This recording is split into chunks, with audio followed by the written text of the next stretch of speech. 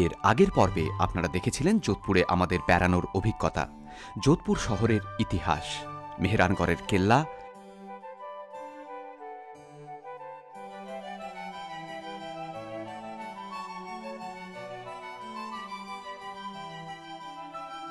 যশবন্ত থারা। রাঠোর রাজপুতদের পুরনো রাজধানী ম্যান্ডোর। এই ম্যান্ডোর গার্ডেনে এলে দেখতে পারবেন যে এখানে এই মারোয়ারের বিভিন্ন রাজপুত রাজাদের স্মৃতিসৌধ করা আছে। প্রত্যেকটা স্মৃতিসৌধই কিন্তু দারুণ সুন্দর করে গড়া। আর কায়লানা লেক। যদি আগের পর্বগুলো না দেখে থাকেন, তাহলে প্লিজ দেখে নিন। ওপরের আই বাটনে আর নিচের ডেসক্রিপশন বক্সে লিংক পেয়ে যাবেন। যোধপুরের তৃতীয় দিন আমরা গিয়েছিলাম বিষ্ণুইদের গ্রামে।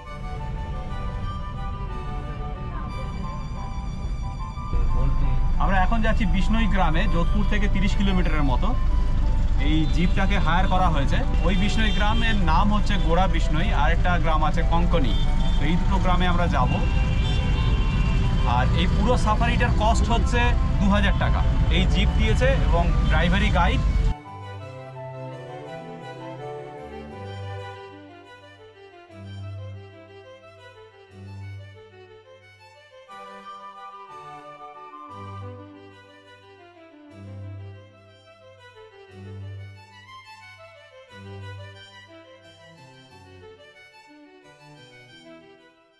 नमस्कार जी शादी में पति पर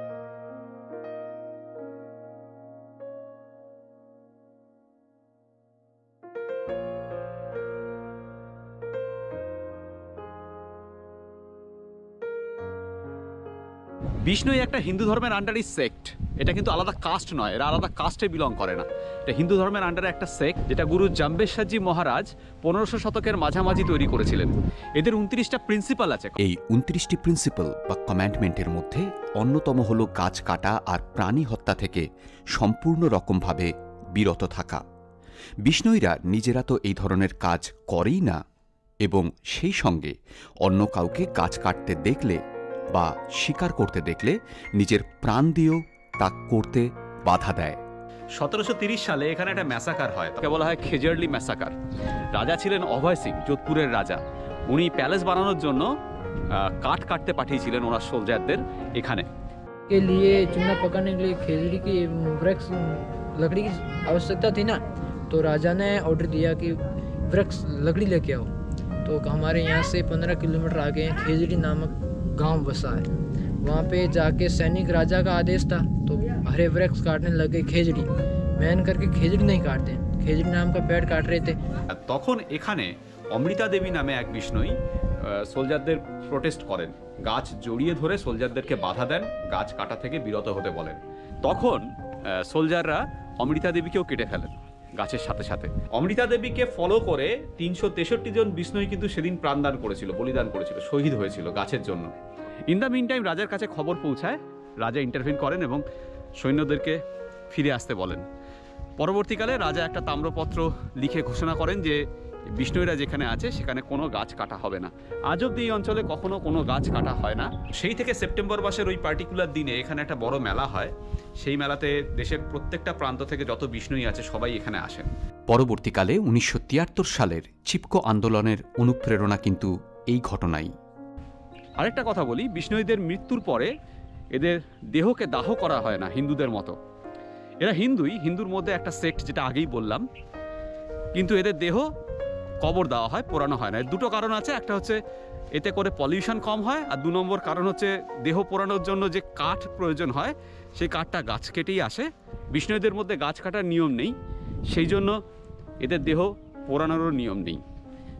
ট্র্যাডিশনালি বিষ্ণুই পুরুষ সবসময় পাগড়ি সহ সাদা পোশাক পরেন আর মহিলারা বিশেষ করে বাড়ির বয়স্কা প্রধান মহিলারা তারা পরেন লাল পোশাক कि रबड़ी कास्ट होता है ना उनका वो चौदह मीटर का होता है क्योंकि वो अम, अपने जानवरों को पानी पिलाने में बांध के पानी पिला सकते हैं कहीं से कुएं से पानी निकाल सकते हैं इसका वो रीजन है खास करके मतलब ये है कि सिर पे पहनने के अलावा बाकी इस्तेमाल भी बहुत है हाँ बिल्कुल हमारे यहाँ पे बाजरा और ये दो टाइप की हो गई तिल और ये दो टाइप की दालें हो गई इससे बोलते हैं मूंग दाल इसके मोट दाल और ये दो टाइप की राजस्थान की फेमस वेजिटेबल हो गई सांगरी और कैर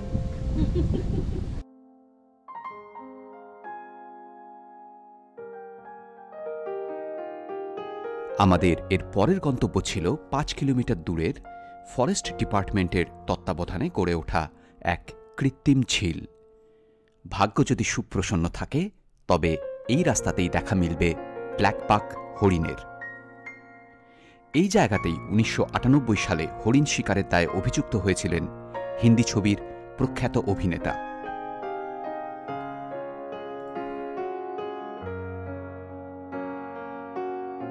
শীতকালে এই ঝিলে দেখা মেলে প্রচুর পরিযায়ী পাখির। ভিতরে ঢোকার জন্য টিকিট ছিল কুড়ি টাকা প্রতিজন।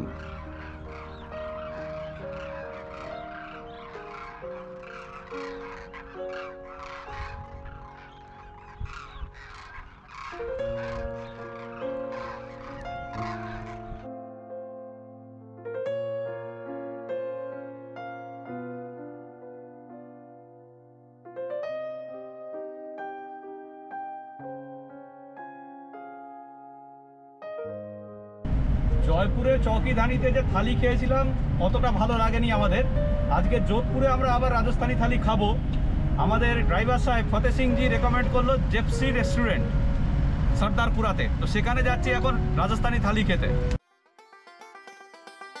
যোধপুর শহরের মধ্যে সর্দারপুরার জিপসি রেস্টুরেন্ট রাজস্থানী থালির জন্য প্রসিদ্ধ। এনারা ছত্রিশ পদের থালি যাচাই করে খাওয়ান। চারশো নিরানব্বই টাকায়।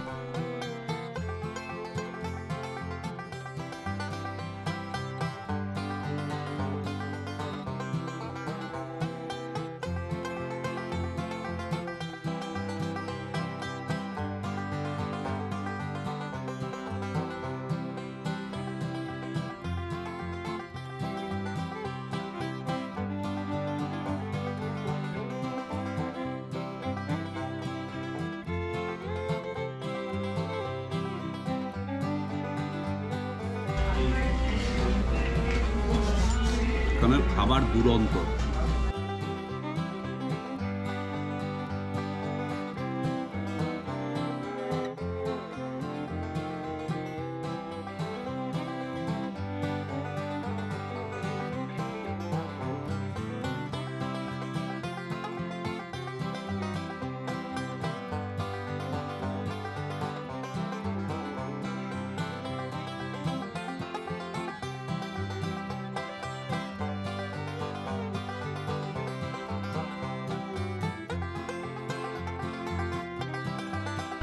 বাজরা রুটি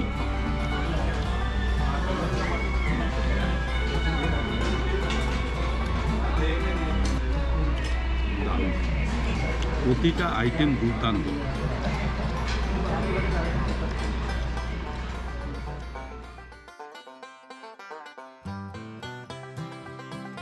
পুরি পুরি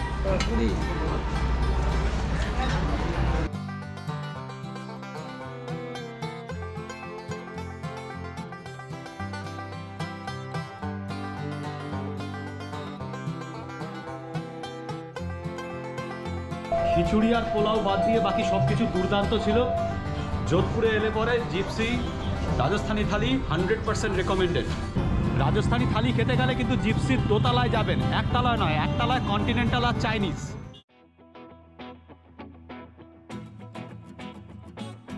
লাঞ্চের পর আমরা চলে আসি ঘণ্টাঘরের কাছে।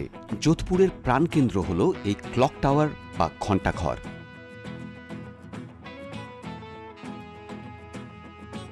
এই ক্লক টাওয়ারটি তৈরি করিয়েছিলেন মহারাজা সর্দার সিং উনিশ শতকের শুরুর দিকে।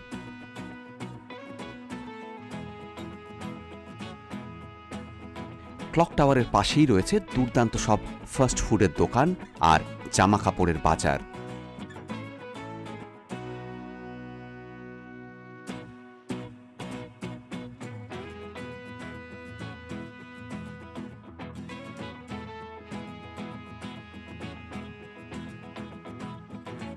এখানেই পেয়ে যাবেন বিখ্যাত বাঁধনির শাড়ি আর চুড়িদার। আর এখান থেকে পায়ে পায়ে বেরিয়ে নিতে পারেন তুর্জি কি ঝালরা বা তুর্জির স্টেপ ওয়েল এই গভীর স্টেপ ওয়েলটি তৈরি করিয়েছিলেন মহারাজা অভয় সিংয়ের রানী, সতেরোশো চল্লিশ সালে।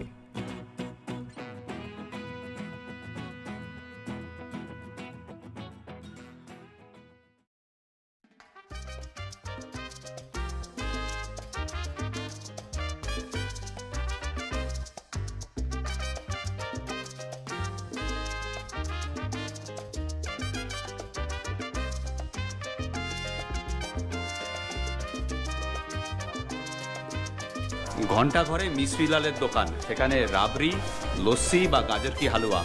এখানে এলে যোধপুরে এলে এটা কখনোই মিস করা যাবে না। এই ইনফরমেশনটা আমাকে দিলেন হচ্ছে বিজিৎ বাবু একটু আগে ফোন করে। বিজিৎ বাবু আমার সাবস্ক্রাইবার শুধু তাই নয় আমার পড়শিও। উনি যোধপুরে ছ বছর ছিলেন। উনি আমাকে একটু আগে ফোন করে এই মিষ্টি লালের দোকানের ইনফরমেশন দিলেন। আমরা ঢুকে পড়েছি এখানে এখন রাবড়ি টেস্ট করব। হ্যাঁ।